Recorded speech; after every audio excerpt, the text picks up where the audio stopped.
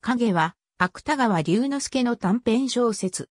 1920年に書かれ、改造に掲載された。横浜で働く中国人の商人が自分も部下の女と浮気っぽい関係になっているのに、妻の不定を疑っている。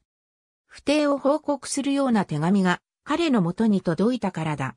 商人は探偵を雇って監視させている。鎌倉の自宅の妻は誰かに監視されているような恐怖感にとらわれている。家政婦になだめられながらも怯えている。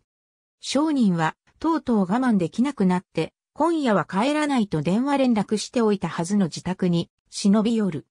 もちろん妻の不定を突き止めるためだ。彼が夫婦の寝室で見たのは妻を考察した自分のドッペルゲンガーだった。商人を疑心暗鬼に陥れるべく、不定報告の手紙を毎度送りつけていたのは、彼にこき使われて、彼に憎悪の念を抱いていた部下の一人であった。東京で影という題のそんな映画を見ているのだと思っていた私は、どうも夢を見ていたようだ。映画館に同行した私の妻は、たった今上映していた映画がそんな内容ではないと告げる。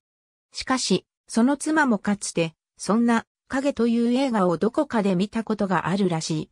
お互い、影のことなど気にせずに生きていきましょうと、妻は言う。映画的技法を取り入れているため、本作をレーゼシナリオと呼ぶ人もいる。例えば、横浜、鎌倉、東京などの地名が柱書きのように見えるといった特徴が挙げられる。